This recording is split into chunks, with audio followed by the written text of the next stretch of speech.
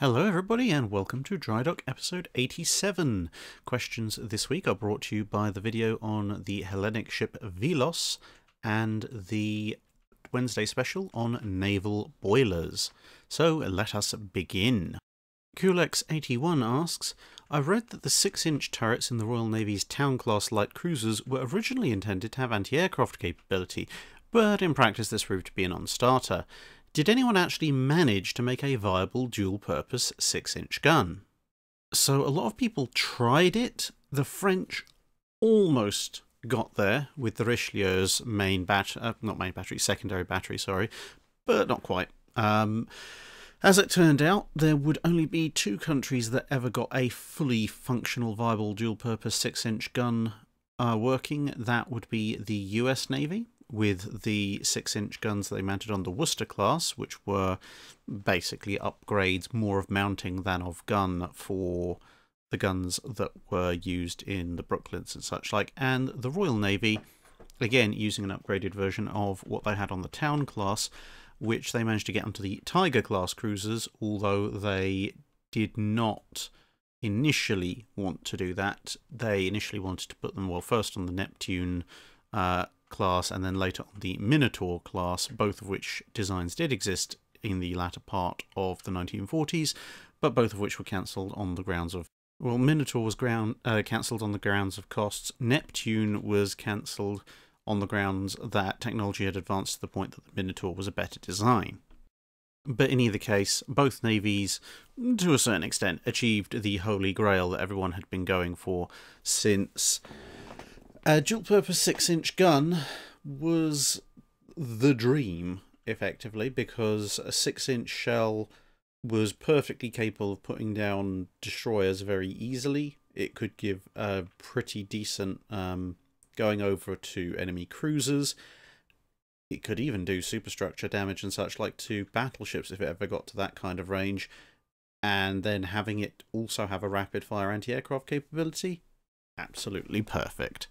Um, the fact that neither American nor British mountings were entirely successful is neither here nor there. Um, they had a tendency to have issues with jamming and breaking down and such. The American mount slightly more often than the British mount. Uh, but, well, you can't get everything right.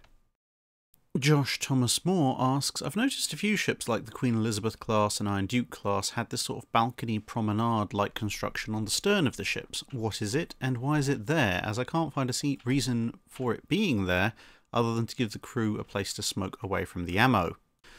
So these places were called all sorts of things, a stern gallery being one of them they generally didn't serve too much for combat purpose. They were actually there to, as you can see with the doors there, to connect some of the officers' cabins. So they were an area for the senior officers to be and uh, hang out. That notice why the, all the railings are nice and fancy. Uh, they could also be used to receive dignitaries, host sort of afternoon tea and what whatever. Um, they are to a certain extent a hangover from the Age of Sail and the early part of the Age of Iron and Steam, back when all the officers' cabins, etc., were right up at the stern of the ship, which tended to be less and less popular as time went on due to all the uh, engine noise and propeller vibrations, etc. But there you go.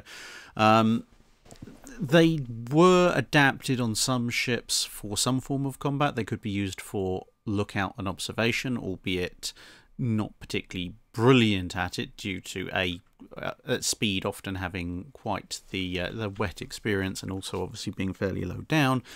Um, but on top of that, they could be equipped with light guns. There are some pictures of various uh, such galleries being equipped with small guns to help fend off torpedo boats and the like. Um, and they persisted in this mostly ceremonial dash uh, luxury role up until around about World War II ish, and then they were eliminated because one, well, one battleships big enough to actually accommodate these kind of structures weren't really around all that much, and B, flag officers eventually managed to get themselves moved to somewhere that was slightly quieter. The Big G asks, I'm interested in your views on the Battle of Jutland. It's usually stated the German fleet was fortunate to escape from the Grand Fleet, but is that necessarily the case? Given the rate the British were losing ships due to their ammunition handling problems, what do you think would have happened if the fight had continued? Is it possible that the British losses would have become catastrophic? It largely depends on what parts of the fleet you're looking at. The dodgy ammunition handling practices that doomed so many of the battle cruisers at Jutland, and indeed some of the armoured cruisers, don't seem to have been present in the rest of the Royal Navy's capital ship fleet. Now, I know that some people do try and make that case based on what I personally find to be rather circumstantial evidence from various primary sources. However, I believe there is just as much evidence against it as, in fact, more. But the and I say that for a couple of reasons. One, HMS Tiger, relatively new to the battle cruiser squadron, didn't have the uh, as much of its flash protection removed specifically because the captain thought that Beatty's ideas were idiotic and was largely ignoring the orders to do so. Um, likewise, 5th Battle Squadron also doesn't appear to have been following those practices, and given the utter battering that the Warspite took, and indeed some of the uh, near death experiences of HMS Malaya, if they had just as lax ammunition stocking and ammunition door removal procedures as the rest of the battle cruiser force, they almost certainly would have gone up like fireworks as well. And yeah, so based on that, it seems that ships that were either new to the battle cruiser fleet or had recently been seconded from the Grand Fleet didn't have these practices in place, which would then indicate that the Grand Fleet itself also didn't have those practices in place, or if they had taken some kind of measure to improve rate of fire, like, say, stocking some extra rounds in the turret, they at least weren't doing that along with the flash door protection removal to quite the same absurd level as some of the ships under Beatty's direct command. Now, granted, that's not going to save necessarily the remaining British battle cruisers because, well, they don't have time to re implement the flash protection in the middle of a battle. Um, but a lot of it's going to depend on how this fight continues because there well there are three main scenarios under which the fight continues all of which are very different all of which have fairly different outcomes and um, this is by no means comprehensive. There are loads of different scenarios under which the action could have been continued um, during uh, the battle of jutland. But let's look at these three because otherwise this is going to be a video in and of itself. So option one Scheer doesn't turn away when he comes into contact with Grand Fleet. He just decides to bull his way through and pull into a line abreast and start duking it out with the biggest battleship fleet known to mankind. Um, you can perhaps tell from that why he chose to turn away, but never mind. In that scenario, it really does not go well for the Germans. That's because the British have effectively managed, well, not effectively, they have managed to cross the Germans' T. Um, Iron Duke apparently installed an aimbot just before it left Scapa Flow, and the lead German ships were getting absolutely hammered. It was in apart from the direction of travel east to west being switched, it was almost Tsushima all over again. Um, in terms of the maneuvering, at least, not anything else. So if Scheer decides he's just going to keep bulling away into range of his guns, which bear in mind generally have a shorter range than the British guns, yeah, that the, yeah, sure. there's enough German ships to hurt the Grand Fleet and put some British ships down, or at least cripple them. But the British forces and the are just going to be working over each squadron of German ships as it pulls into line. Now, the the last few German ships will have that happen to them somewhat less because various elements of the Grand Fleet will be engaged with the German ships that have survived the initial mauling already. But at the same time, the rear elements of the High Seas fleet are the weaker elements of it, so the fact they're only being fired on at 2 to 1 or 3 to 1 odds instead of 5 or 6 to 1 odds probably isn't going to go down too well with them anyway. So in that, in that scenario, the high seas fleet gets driven off or destroyed effect effectively. Then obviously various ships will make it away, but there will be a lot of ships sunk, a lot of ships crippled, um, and then probably either sinking on their own or sunk by follow-up assaults, etc. So this is exactly why Scheer did his battle turn away twice, and you can pretty much put that scenario in uh, the engagement lasting in either of those battle uh, instead of either of those battle turnaways taking place. And just look at some of the damage that had to be repaired on the ships that were in that front line, um, on those front line units when they uh, had to turn away.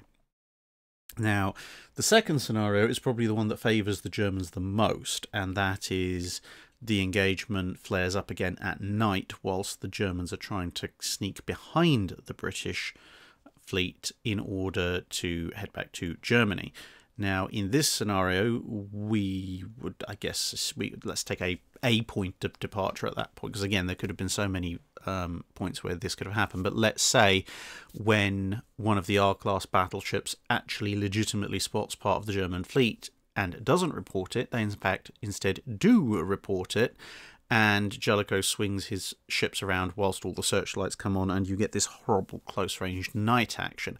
This is probably the one where the Germans do the best because the Germans were trained somewhat somewhat better than the Grand Fleet was for night actions. Now, on the other hand, they are battered, spread out, etc., etc. But if the, the timing is in their favour, they've kind of crossed the rear of the British line. So they've got a sort of uh, slightly less organised, but still somewhat crossing of the T in reverse. Now, obviously, it's a lot easier for Jellicoe to swing his lead ships around to uh, address that issue than it is for someone who's sailing into a crossfire T uh, to get out of it. But anyway, su su superior night fighting training skills, plus the fact that uh, obviously they've got their own destroyers and escorts nearby, plus an initial positional advantage over the Royal Navy means that in that scenario, the Germans have a fair number of cards to play, and they might well come out of that with a roughly even kill tally. Effectively, they're going to get more damage done at the start and then as the various elements of the Royal Navy that were further south start to come back around, then they're going to start hitting the German ships that are already battered from the first round of exchanges. Then the last scenario, which is probably actually the worst for the Germans, probably even worse than Scheer refusing to do a battle turn away, would be if this report again, let's say, was sent to Jellicoe, but Jellicoe didn't choose to engage, or perhaps he Jellicoe decides he's going to take yet another chance and trust uh, the intel that he's receiving, but effectively, for whatever reason, Jellicoe decides, I know where the German fleet is going, um, and I'm going to position my fleet uh, over the entrance to their safe passage through the minefields, and I'm going to force them to come through me to get back to Germany this is the worst case scenario for the Germans because their fleet's spread out. They've already taken the battering that they took during the initial battle turnaways. Their battle cruiser forces are effectively non-combat effective. Seydlitz, Seydlitz is definitely going down in this scenario, even if no one fires another shot at her. Purely the fact that another few hours out at sea, and she's she's gone. Um, the German ships are strung out. If Jellicoe has got this intel, he'll have managed to corral his ships into some semblance of order. Um, so the Germans are at their basically at their weakest. The British, having sent Warspite and Marlborough home, are really only short by a couple of battleships, and everyone else is in good fighting trim. The, the, and the Germans don't even have a break off scenario at this point. They have to either fight it out, and at that point, they're quite badly outnumbered once you take into account, well, the sheer numerical disparity, but also the disparity between ships that are damaged and ships that aren't.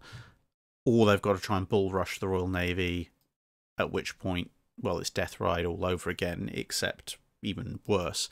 Um, so, yeah, day, if if we're looking at the daytime engagement scenarios outside of Jellicoe turning into the mass German torpedo attack and getting it very badly wrong, almost every daytime scenario which in which the High Seas Fleet continues to fight with the Grand Fleet ends badly for the High Seas Fleet. If we look at scenarios where the Germans engage the Grand Fleet at night, then they have a much better chance of things. They have a pretty good chance of pulling off, if they go full fleet battle, pulling off an even numbers loss loss uh, infliction ratio. And if they are really smart about it, they might bite off the back end of the British fleet and then skedaddle off into the night as best they can. BK Zhong asks The Kriegsmarine had high pressure turbines that were more efficient but also less reliable than those of most other navies. Is it possible that the Germans could have improved the reliability of these turbines had they had more time and resources? So the short answer is yes, they they could have. Um, but uh, they didn't for various reasons, which I'll explain. Um, and in order to explain why they didn't, most of which basically comes down to wartime necessities and also the uh, the usual German penchant for making everything hideously complicated. Well, I know there are some of you who watch this channel who either are or have served on uh, ships in the engine engineering sections. So I apologise for the following, because it's probably uh, going to give you some nasty flashbacks, or at least have you pounding your head to the desk asking why. But here we go, if I have to suffer through it as an engineer, so do the rest of you who've chosen to listen to it. The Kriegsmarine high-pressure boilers are an interesting bunch of things. Now, there's high pressure and then there's high pressure. Um, both Kriegsmarine and US Navy used high pressure boilers in World War II, this much we already know. Uh, there were, however, some differences. When it comes to developing anything, especially something like a high pressure boiler, which is basically a controlled steam bomb, um, you, you usually want to do a bunch of testing and steam can, especially high pressure, high temperature steam, can be very, very corrosive. So you want to make it out of resistant materials, um, alloys, and such like. The Germans had several problems on this score. They knew that in wartime the supply of rare exotic alloys would be difficult to come by, and this did in fact um, end up costing them qu in quite a number of fields during the war historically, with things such as their early jet engines burning out very quickly because they were forced to just use steel instead of um, various alloys that would help with that. Um, also, with things like their armor piercing ammunition for tanks, a lot of that ended up just being steel because supplies of tungsten weren't really around all that much. But with the design of the boilers, obviously most of their engineering was done for the boilers before the war, but the engineers were specifically told to avoid these kinds of exotic alloys and unique metals as much as possible, because then if something broke during wartime, it would be very difficult to replace them. Now, of course, you could just build up a stock of replacement parts beforehand, but apparently they, the higher ups didn't think of that, and so the boilers went in and turbines went into service with a bunch of parts that were made out of more mundane materials that were nowhere near as durable when it came to dealing with extremely high pressure steam and the effects thereof. Additionally, the whole thing was somewhat rushed, so Normally, when you're designing something as delicate and important as your engine system, you would build a prototype, you would test that prototype, you would then go, aha, this bit doesn't work quite as well as it should. Um, let's change that. Let's see how it affects all the other bits. And let's then do another full scale test and so on and so forth until you've got most of the bugs worked out. And then you look at the layout of the pipes and such like, and you go, right, okay, can I get to this bit? Can I access this bit? No. Okay, well, if it breaks at sea, how am I meant to get at it? Uh, right, okay, maybe we should change that, either put some more space in, move it around, etc., etc. And eventually, through a number of iterations, you end up with a system that is hopefully A, less complex than your initial prototype, and B, a lot more accessible and more simply laid out. The Germans didn't do this.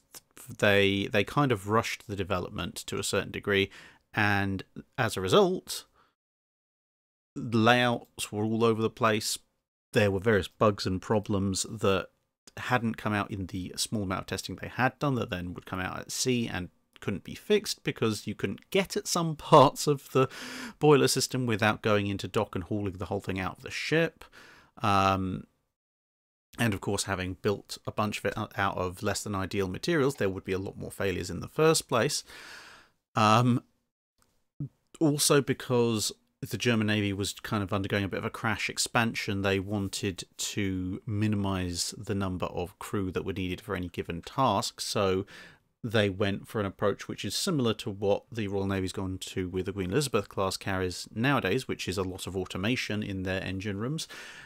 However, automation and 1930s and incredibly complex machinery don't mix tremendously well.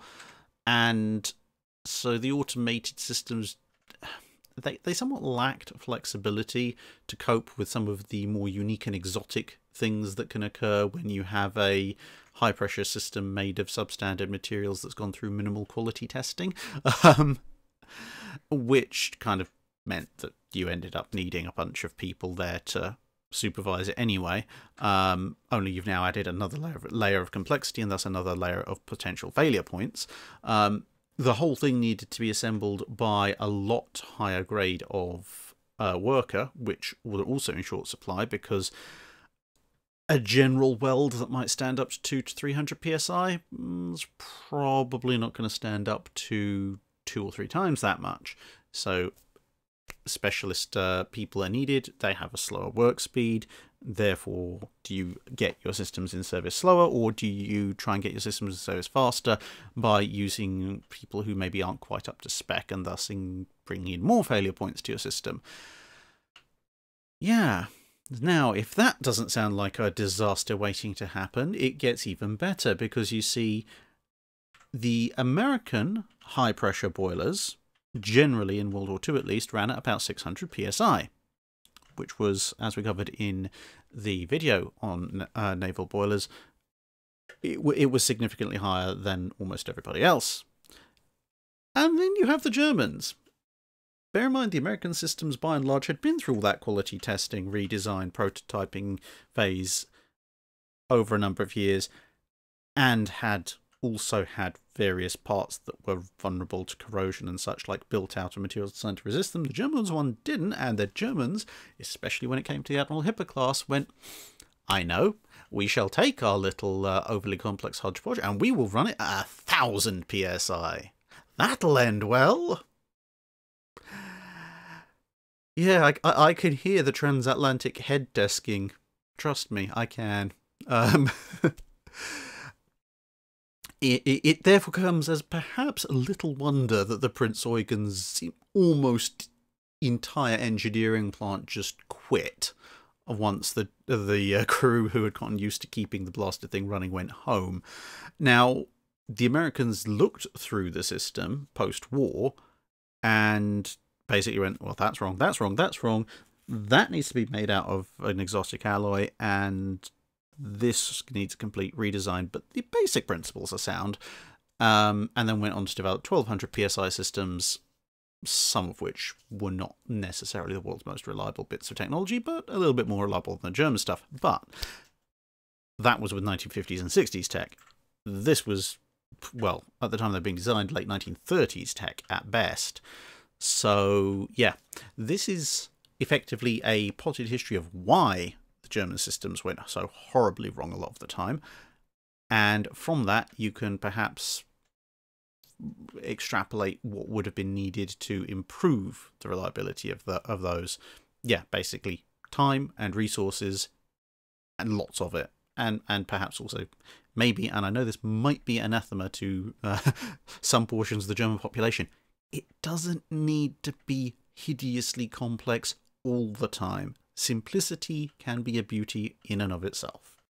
Prototypical asks, so considering the size, weight and complexity, how hard was it to update the machinery in a warship? No prizes for guessing these questions are coming from the bottom boilers. So, updating the machinery in a warship, specifically things like the boilers, it's simultaneously actually surprisingly easy and also hideously complex, which sounds like a complete tautology, and to a certain extent it is. But um, let me try and explain. If you are trying to upgrade the machinery, let's say in this case, the boilers of a ship, you basically have to do all or nothing. You if if you try and update little bits and pieces of it in place, it's just going to take forever and a day, and something's probably going to explode at three, four hundred psi and kill everybody in the room. So probably don't do that. Um, if you're going to replace the boilers, it's basically to rip it all out and put new ones in. Which does sim- this is why I say it does simplify things somewhat because you basically just have to go right. Here's the here's the feed in from the water tanks and the oil tanks, etc. Right, cut and cap those. And here's the feed out for where the steam goes over to the turbines. Cut and cap that. Right, all of this out.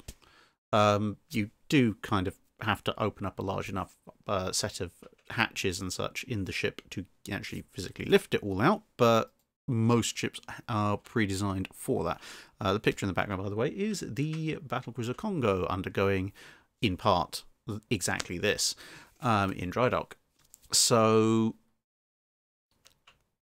it's expensive, it takes a long time, and obviously your ship is not going anywhere until it's complete. Um, you you cannot dispatch a ship with half this process done.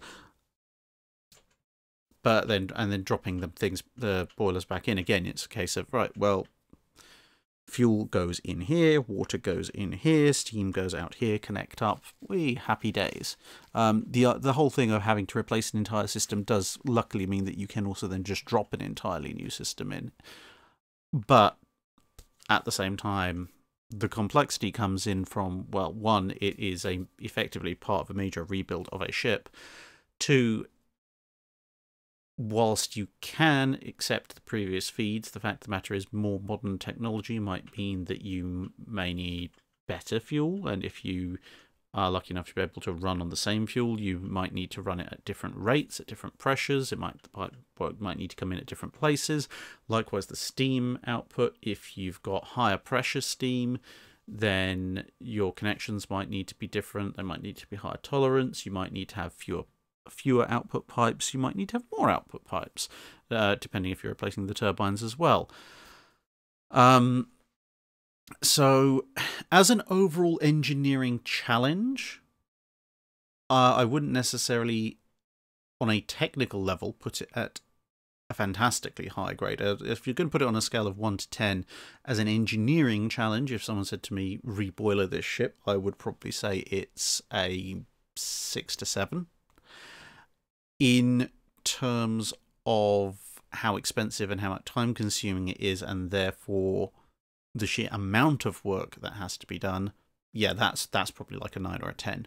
Um, there's very very few things beyond complete rebuilding of the entire ship that that match the amount of work that would, that goes into re-engineering something the size of a battleship or a battle cruiser.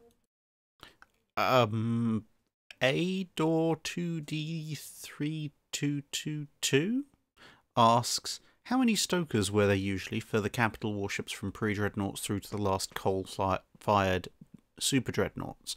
And were there many shifts as the work is most likely, likely exhausting, especially at combat speeds? Um, it obviously varied by ship by ship. Um, if you're talking about something like a, a smaller pre-dreadnought capable of 16 knots, obviously that's going to need a lot fewer stokers than uh, some of the really big ones that were capable of a, a 17, 18, 19 knots, like say the Italias. In the latter stages of things, when you're talking about sort of the late 1900s, early 1910s, anything upwards of 600 crew could be stokers. So you'd probably be working in batches of about 200 at a time, um, which gives you some idea of the, the manpower involved. Um, and one of the attractions of oil firing was that, well, you didn't need stokers, which meant you could immediately cut your crew complements down quite significantly. And some of this perhaps can be uh, explained by looking at crew numbers of some of the British battleships since they were some of the earliest to go over to oil firing. So if you look at the King George V 1911 class and the Iron Duke class, their crew numbers, at least in their initial forms, run at the high 800s, sort of 860 to 890, depending on exactly the ship. Um, and this is with a mixture of coal and oil firing. Now, if you look at the Queen Elizabeths and Revenges, they are 20% larger by displacement, but their crews are not 20% bigger. Um, with that much more displacement and therefore that much more room and that many more things to do. Now, granted, fair enough, they are four turret ships instead of five, but even so, you would expect a crew complement of somewhere in the region, if you've got sort of high 800s for the earlier ships, probably something pushing a 1050, 1100. Um, but in fact, their initial crew complements were about low 900s, sort of 920, 940. So they were only bringing between 30 and 50 additional off, uh, officers and men aboard a ship that topped out at well over 30,000 tons compared to the 25,000 tons of the King George V's and Iron Dukes. So that gives you some idea of the relative cost saving in men. And as I say, that's just moving from a coal fired with oil spray feature over to oil firing. Uh, the move from a pure coal to pure oil would be even more marked. Clone Tool asks, would the Danish Navy have posed a threat to the Royal Navy had the battle and bombing of Copenhagen not taken place? In and of itself, no. The Danish Navy was not a threat to the Royal Navy. However, the League of Armed Neutrality, which Denmark was part of, was a threat to the Royal Navy. And the one of the reasons that Royal Navy launched the first Battle of Copenhagen in 1801 at the time that it did was because ice in the Baltic prevented the navies of the other nations in the League of Armed Neutrality from sending ships to all join together. Because if they did, then that force, as a collective whole, would have definitely been a straight up threat to the Royal Navy.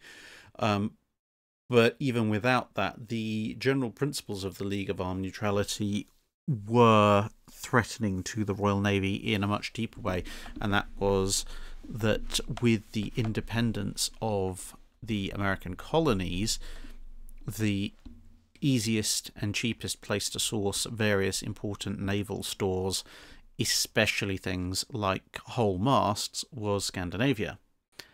And the existence of the League of Armed Neutrality with the policies it had put in place threatened the British supply lines for that, and since things like masts and spars are vital for the continued operation of a fleet, the British couldn't let it stand. So, with the ice still in place, they basically went up to the Danes and said, Right, you need to come out of here, uh, come out of this league, or else. And the Danes refused to come out of the league, and so they ended up with the or else part. Um, so, yes, uh, yeah, as I say, in, in and of itself, the Danish Navy on its own, probably not a threat to the Royal Navy, but combined with the allies that it had and with the objectives they were all trying to enforce, yes, it most definitely was part of a threat to the Royal Navy.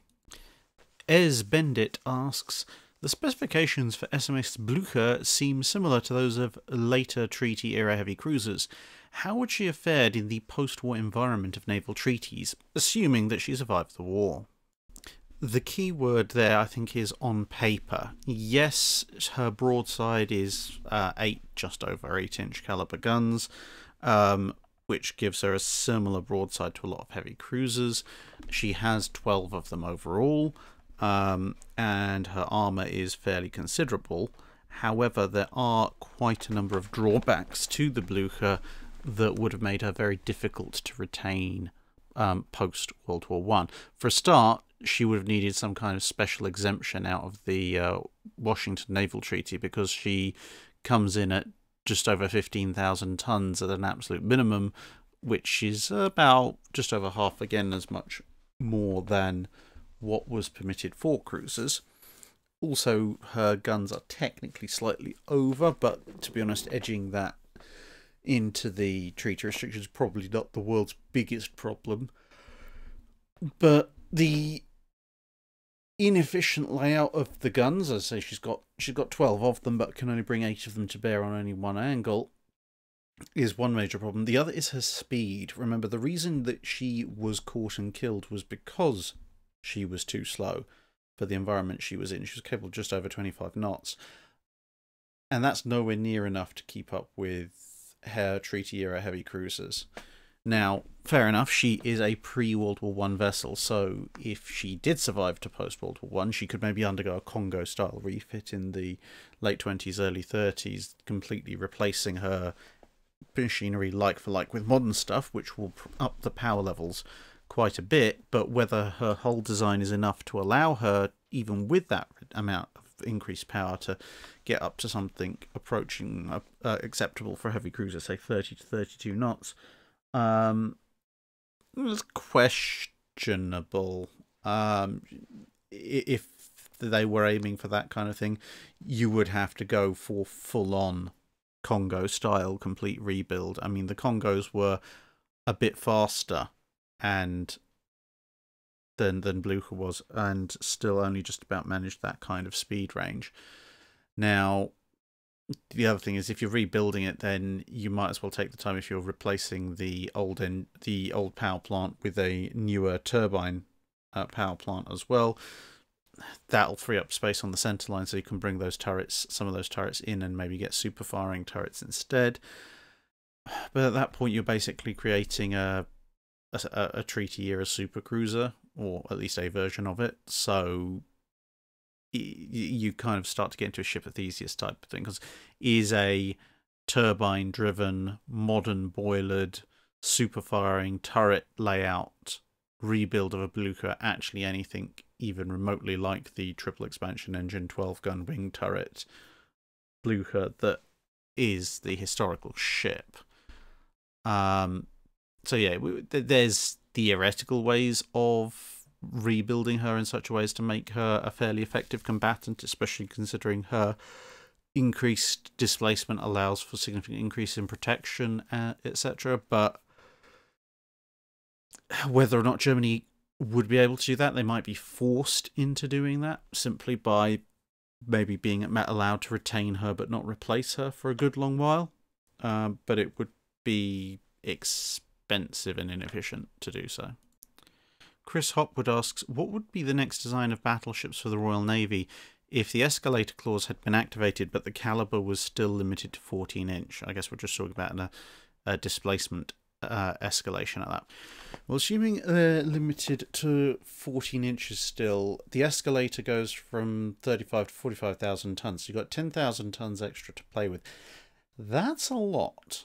Um, I suspect they probably would have gone back to the initial finalized version of the King George V design with the three triple 14 inch as shown here, and then probably gone, right, well, 10,000 tons is an awful lot to play with.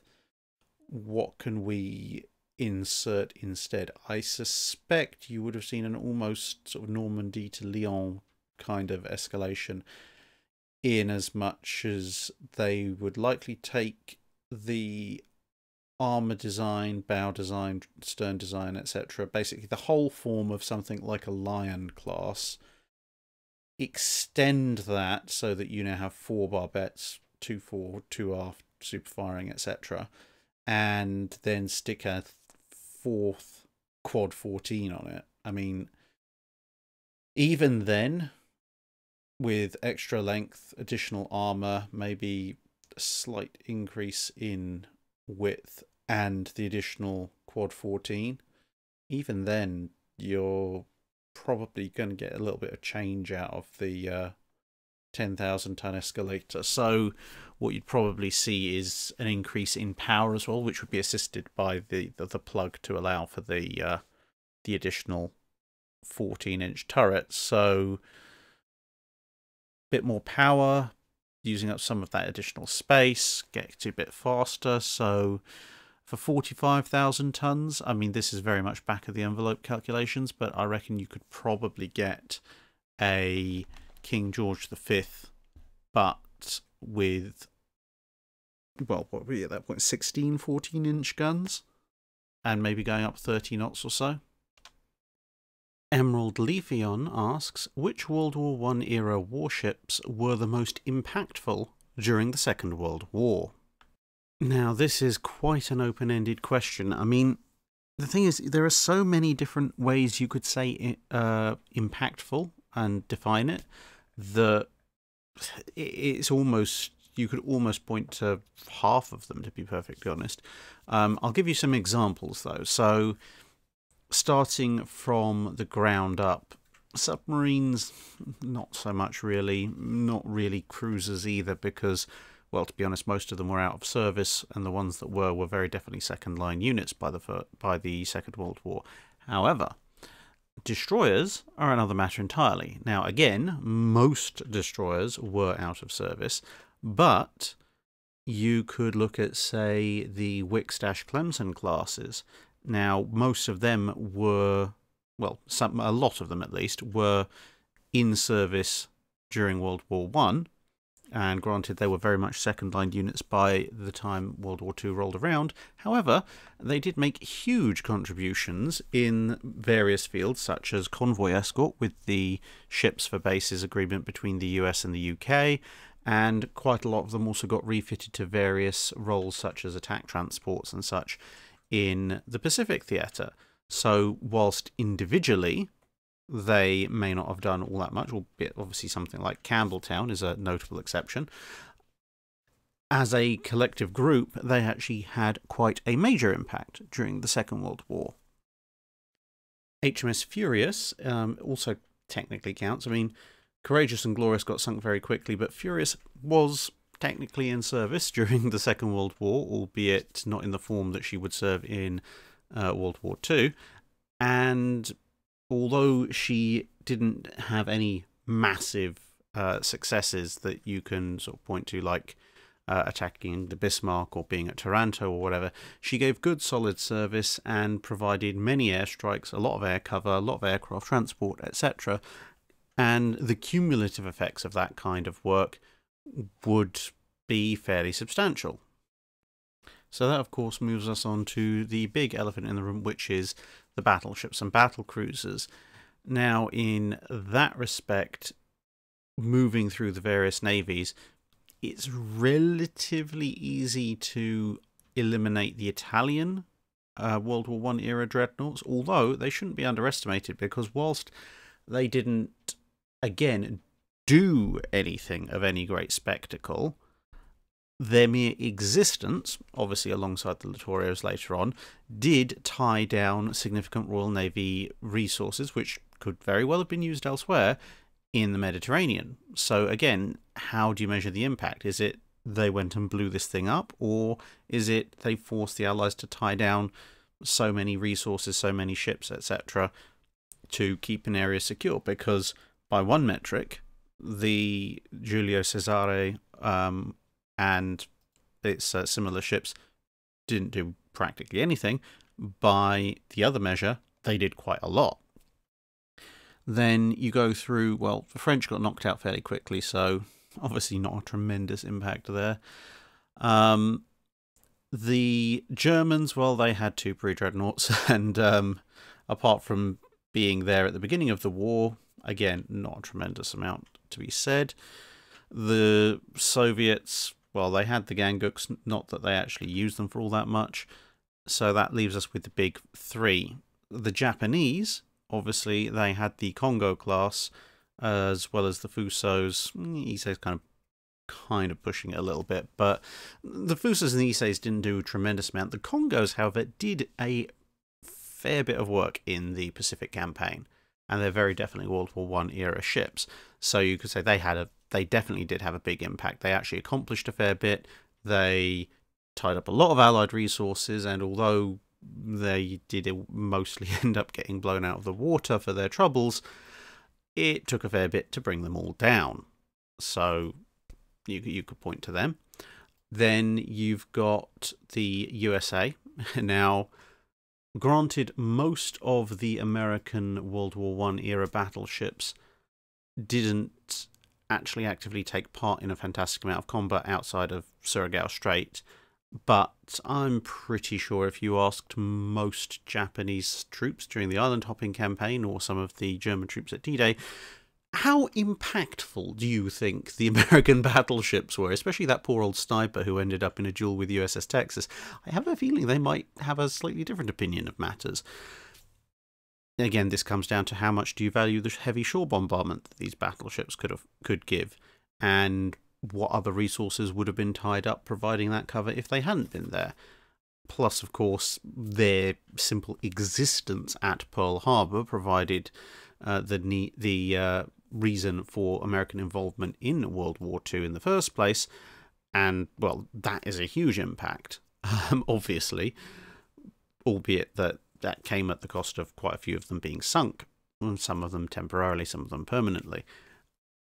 Then you swing round to finally the British, and you've got the Revenge class, Queen Elizabeth's, and the battle cruisers. Obviously, Hood made a fairly big impact in pop culture, albeit that unfortunately not a tremendous impact on the overall course of the war. Repulse, equally, um, managing to get itself sunk at the end of 1941. Not a tremendous change in the war as a result from that. Uh, the Revenge class did a very good solid work, as did many of the unmodernized Queen Elizabeths on convoy escort. And again, they didn't do that much generally, but say you look at something like Malaya scaring off the two Scharnhorsts because it was escorting a convoy, what would have happened to that convoy if it hadn't been there? How much damage could that have done? How much damage would German surface raiders have done? And how much how much more would Hitler have been willing to risk sending them out if those ships hadn't been there to allocate to this kind of convoy escort duty? And then, of course, you've got the the modernized ships: Warspite, Queen Elizabeth, Valiant, and Renown. Now, of those, I would argue that it's fairly clear that Warspite and Renown were involved in a lot more actions, and therefore you could say had considerably more impact on the war. Uh, Warspite certainly had a considerable impact on German destroyer numbers, to say the least, and Renown, uh, again, running into the Scharnhorsts in a storm, sent them packing. So those two ships are perhaps probably the poster children alongside the Kongos for sort of actively doing something quite substantial, especially with Warspite, as we alluded to Narvik. Warspite's also at the Battle of Cape Matapan. Warspite's also scoring the longest range hit, mm, technically shared with a Scharnhorst, probably. Um, that's a that's a very deep rabbit hole to go down when you want to discuss the exact ranges of those particular incidents. But anyway, um, but whilst that might those might be the easy answers, as hopefully I've covered in this uh, somewhat rambly section, there are all sorts of metrics by which you can measure impactful, and really comes down to what what do you value the most, and where do the sort of the butterflies go if a particular ship or class of ship is removed um, to determine that. Matt Blom asks. How was the detonation timing for armor-piercing shell fuses determined? So a full explanation would require quite the in-depth video on exactly how shells work, but for a brief answer, shells, especially the well, the armor piercing ones that you refer to, they work with what's called a base fuse. That is, the fuse is placed in the base of the shell, not the nose of the shell, for the very good reason that the shell, assuming it does its job, is about to hit anything up to a foot or more of solid steel, and so any kind of delicate mechanisms that you put in that shell are probably going to end up smeared across the shell before they get a chance to actually do anything. So the base fuse, obviously the back of the shell being the last thing that gets destroyed, will last just long enough to ensure that the shell can detonate properly. Now, how this fuse works is that when there is a big violent deceleration, like say hitting a foot of armor steel, this initiates the firing mechanism. So a primer will immediately flash, and if that was it, then the primer would flash to the detonating charge, which would then explode the shell, and the shell would eh, just almost immediately detonate. This is not ideal with an armor piercing shell because that means the shell's probably still going to be outside the armor or on its way through the armor. So instead, what they do is they insert a small compressed grain of black powder, and it can literally be just a grain, between the primer and the detonating charge. The idea of this is that the primer flash will ignite the grain of gunpowder. That will burn through, and obviously, because it's stuck in a small tube, the flame can't spread around, it has to burn its way through. And once it has burned through, then the flame continues onwards, and that sets off the detonating charge, which sets off the main shell, and then the shell explodes. Now, how you set the timing for that is basically down to how fast does a grain of gunpowder burn and this was subject to a lot of experimentation. And obviously, if you use a slightly smaller one, then it will burn much quicker. If you use a fractionally larger one, it will burn a lot longer, but it's not very much. As I said, when we're talking about compressed grain, we are talking about tiny amounts of gunpowder because you're talking about how much gunpowder can burn after being set alight in hundredths of a second, which is was normally the uh, average delay because they had to calculate, well, based on the shell's speed before impact, based on the shell's likely speed after impact, how far is that going to travel? But if you're traveling at several thousand feet per second, or even at long distance, a few hundred feet, several hundred feet per second, um, you only need a fraction of a second to travel the tens of feet that you need to actually get well inside your target, and obviously before the shell breaks up from the force of the impact. The only exception to this was the Japanese diving shells, which measured their delay in tenths of a second as opposed to hundredths of a second. And so that is basically how you do it in very simple terms. Alastair Church asks Tank shells went down various different routes in their attempts to defeat the armours that they were pitted against, such as shaped charge warheads, caps to help grip the armour when striking at an angle, etc. Did naval shells have similarly varied ways of attacking armour, or was it mostly a matter of throwing heavy enough lumps of metal that having enough armour to guarantee protection would make the, make the target so immobile as to be pointless, and then hoping your naval architect did a better job of designing a compromise than the enemy? There were various experiments with ways of attacking armour that were slightly unique as compared to the, the general case, but to a certain extent it is a lot more limited in scope than tank shells because, as I mentioned in other videos before, tank shells basically have to break through the armor. And then once they've broken through the armor, as long as they're doing something on the other side, that's probably going to knock out the tank because there's very limited space inside a tank and all the vital parts are literally just there. Whereas just breaking the armor on a battleship really doesn't accomplish all that much because most of the vital bits are still further inside and there's a fair bit of space in between. So when it comes to the average or garden shell, when you talk about armor piercing varieties at least, the basic idea is to, as you said, hit something hard enough with something that's heavy enough and uh, durable enough to punch straight through the metal of the armor plate. But there were, broadly speaking, four additional ways of going about it other than the standard, commonly understood armor piercing shell. Now, two of these were effectively opposite ends of the spectrum, and the other two were relatively unique. Now, I've actually mentioned one of them briefly in the previous question, and that is the diving shell. The idea of the diving shell, with its much longer detonation, would allow for the shell to travel through the water, where obviously it will be slowing down quite significantly, but then reach the target or ship whilst having reached a depth below where the armor belt was. This, in theory, would then allow the shell to penetrate the relatively thin hull, despite the fact that it was obviously significantly slowed down by the water, and fetch up inside the vitals of the ship, because right down in the depths is where you find things like magazines and engines and such like. And then when it detonates, A, it's very likely to be near something that you really probably don't want a shell nearby, um, and two, obviously having penetrated underwater, that means the resultant damage is going to definitely let in water, which is another vital part of sinking a ship, whereas a armor piercing shell that punches through 5 10 feet above the waterline will do damage, but it's probably unlikely to let significant amounts of water in. The other type of uh, sort of sideways look at things was the CPC, or Common Point Cap shell, that was present in British warships in the run up to and during the early part of World War One.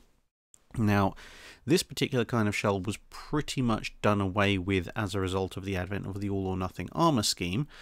It worked purely on ships that had the distributed armour scheme. And the reason for that was that the Royal Navy figured out that armor piercing shells could obviously punch through sort of a foot or so of armor, but against lighter armor belts, the sort of anything from three to seven or eight inch belts that were common in various parts of fore, aft, up, above, and below the main arm belt on a lot of ships in the run up to World War One.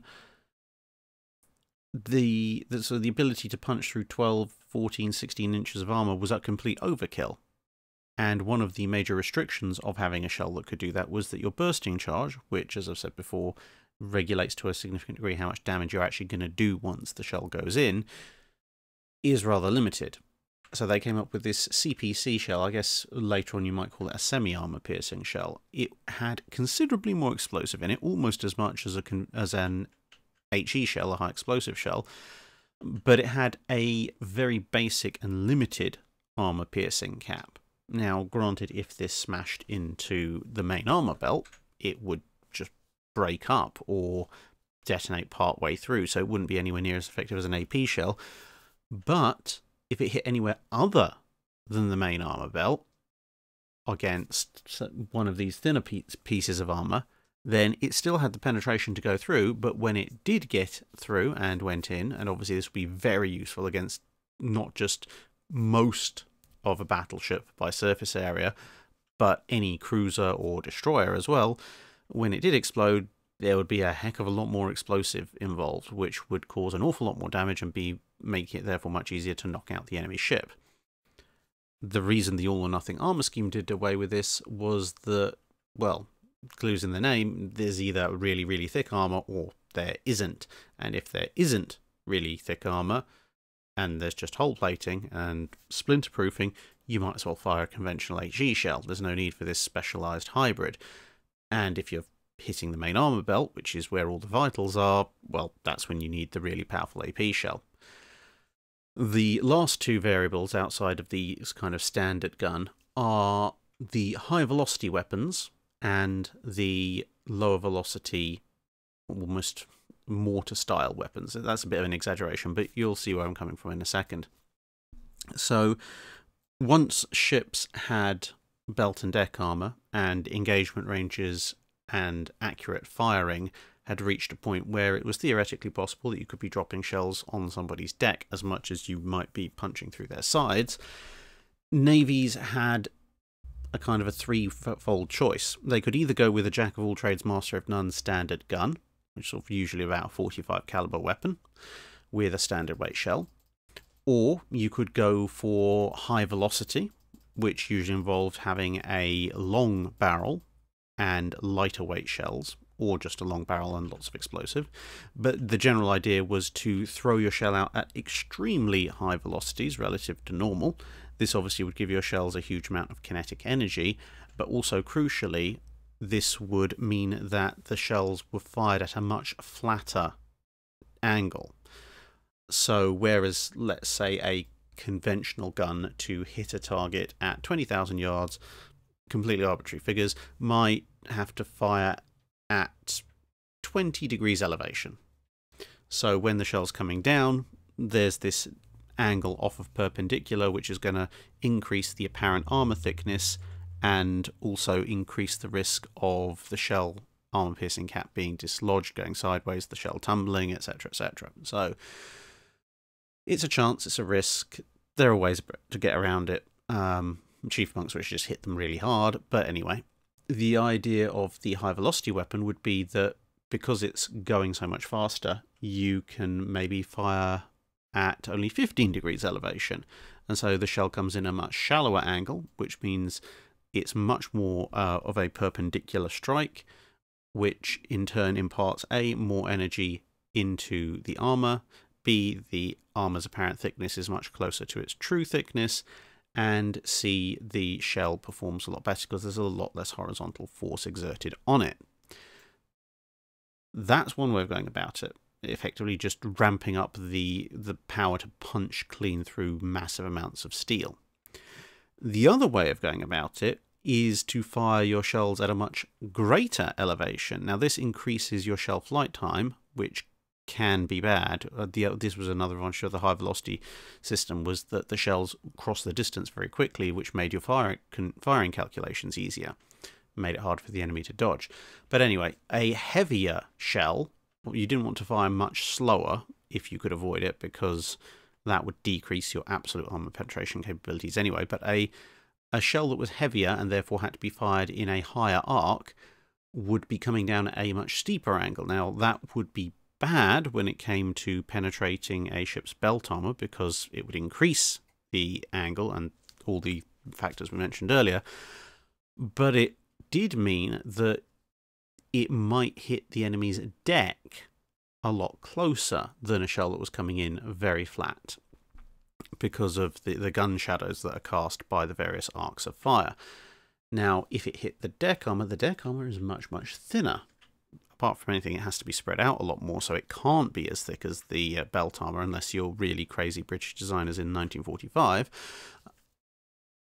The main strength that the belt that the deck armor sorry has is that the angle of incidence when the shell hits normally is much much higher than when it hits uh, the belt. So if a shell comes in at say, it's taking our standard gun at 20 degrees, assuming perfect parabolic arc, which obviously isn't actually the case, but simple simple uh, explanation anyway. Um, assuming it comes in at 20 degrees away from perpendicular, then out of your full 90 degrees, if you translate that to hitting the deck instead of the belt, bear in mind the deck is horizontal, the belt is vertical unless you've inclined it, that means it's hitting the deck at 70 degrees.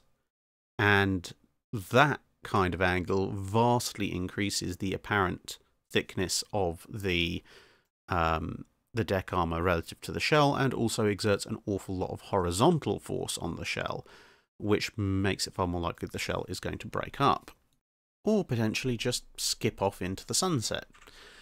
So with your heavy shell, if you fired it at the same range and you fired it at uh, 25 degrees, then obviously you're taking 5 degrees off of that angle when it comes crashing down onto the deck.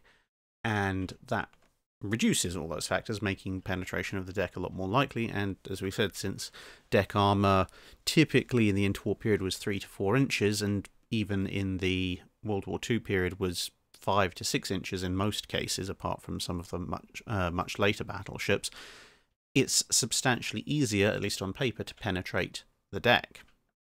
So this is what the super heavy shells would aim for in US ship design, for example. Say there was there were other trade-offs in terms of flight time, ease of dodging, etc. Um, and of course, a high velocity shell would be very good at penetrating belt armor, but practically useless at penetrating deck, whilst a shell that was designed mainly to penetrate deck armor would have significantly more problems penetrating belt armor than a corresponding shell for the same gun that was designed more along those lines or more along the jack of all trades lines.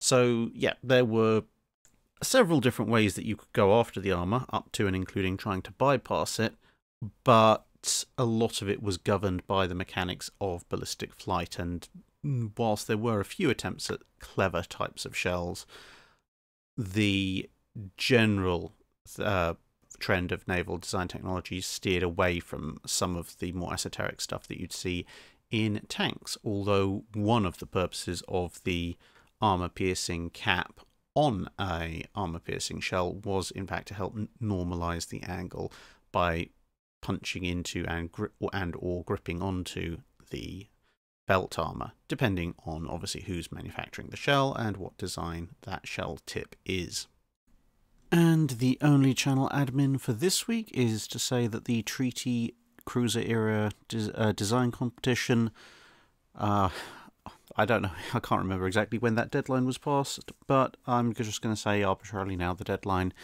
is one week from the uh, release of this video. So that'll give people some time to get everything sorted. I know there's been a bunch of entries already, so uh, thank you for bearing with me on that. Obviously, it's been a little bit of a chaotic time for the last uh, last few weeks, and so uh, that kind of thing, unfortunately, has gone up in the air a little bit on my end. But other than that, thank you very much for listening, and I hope to see you again in another video soon.